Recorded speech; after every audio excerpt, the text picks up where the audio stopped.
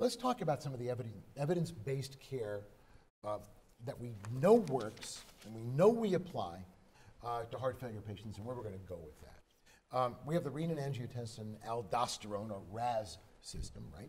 We've got the sympathetic nervous system pathways. Those are the SNS pathways, and they're both associated in complex ways with HREF, uh, HFrEF. See, maybe it's just better to say the other way heart failure with reduced ejection fraction. But why don't you sort of put this puzzle together for us, actually, a little bit? Sure. So, um, so the way, I, I, and I think we'll focus on the HFrEF population or the population with low ejection fraction. And I think we all now understand uh, in our neurohormonal model that heart failure begins with a cardiac insult that results in a decline in cardiac output that initiates a sequence of sustained neurohormonal activation. And initially, that neurohormonal activation, which is activation of the systems you talked about, renin, angiotensin, and aldosterone, the sympathetic nervous system, are adaptive. They actually help us to maintain blood pressure, to um, uh, um, maintain cardiac output, and augment uh, forward flow. But over time, that sustained activation of the system actually promotes deleterious processes in the heart. The heart gets bigger, uh, the heart gets stiffer uh, more salt and water are held onto when it's not needed. And that's what precipitates the heart failure syndrome. So, sustained neurohormonal activation, we think, is the crux of heart failure progression.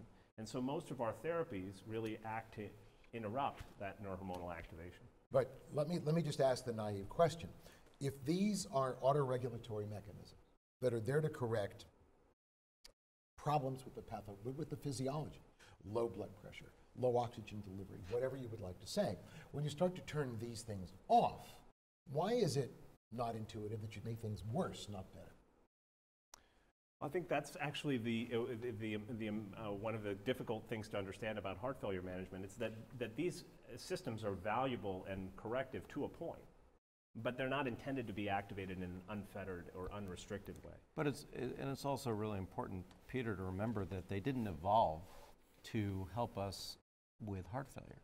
They evolved to help us with, uh, with uh, exsanguination, with bleeding, with, you know, it's that saber-toothed, uh, tiger, tiger that we were right. all running from, uh, you know, several million years ago.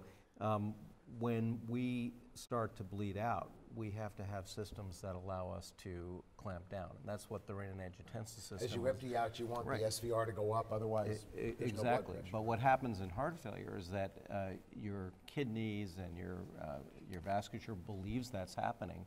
And so these systems get activated, but incorrectly.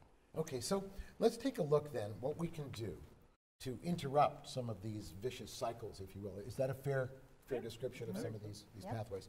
and, and get at the heart of FREF so that we can correct the, the, the, the pharmacologic abnormality and maybe mm-hmm. help the heart do a better job. And I would think that anybody listening to this broadcast or watching it would think, ah, heart failure, too much water, wrong place, diuretics. Really, what about that? So there's two different um, strategies for treating patients with HFrEF, and one is to treat the symptoms, and that's where diuretics come in. But diuretics don't have any sort of effect on prolonging survival or anything um, beneficial in terms of disease progression. They actually worsen things. They lead to an activation of the renin-angiotensin aldosterone system. They're a necessary evil. We use them because we have to treat the congestion. But in terms of the disease itself or the syndrome, they're not beneficial. What is beneficial is the other strategies that are geared towards blocking both the renin-angiotensin aldosterone system and the sympathetic nervous system. All right, so you're telling me I'm squishing, I'm wet, I'm going to use a diuretic, but it's not going to help because it's just going to make things worse. It's going to empty me out and potentiate all these other mechanisms that are bad. So let's take a look at these other mechanisms, right? If you say that some of them are, are not designed to do what they're trying to do, let's talk about the, uh, the SNS system. We have beta blockers here. Now, to me, at least on first pass when I first heard this, some guy's got a reduced ejection fraction. You're going to give him an anti-catechol, a beta blocker, or her, not to be sexist about this. Uh, that's as counterintuitive as it gets, and yet it works. Who's going to tell me why? Why does that work? Action.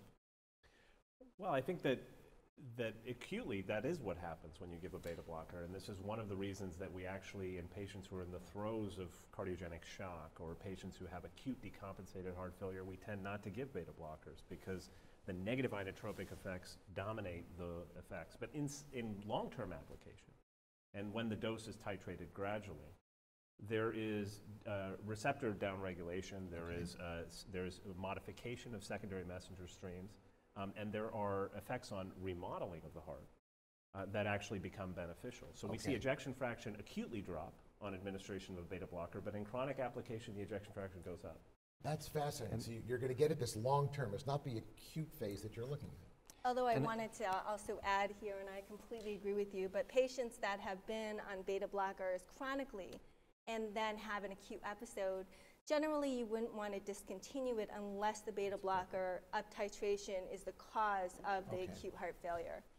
Okay. You know, Yeah, Peter, it's, it's interesting. When I was in medical school, it was considered malpractice to give a patient with heart failure beta blocker. I was alluding to that. Yeah, and you know, the only reason we changed is because uh, of uh, well-designed clinical trials that challenged this conventional wisdom.